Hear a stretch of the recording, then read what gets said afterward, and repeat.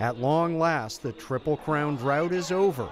American Pharoah led all the way to win the Belmont Stakes by five and a half lengths on Saturday, becoming the first horse in 37 years to sweep the Kentucky Derby, Preakness, and Belmont Stakes.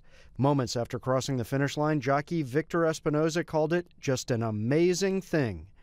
American Pharoah was the favorite of many in the crowd of 90,000 on hand to catch horse racing history.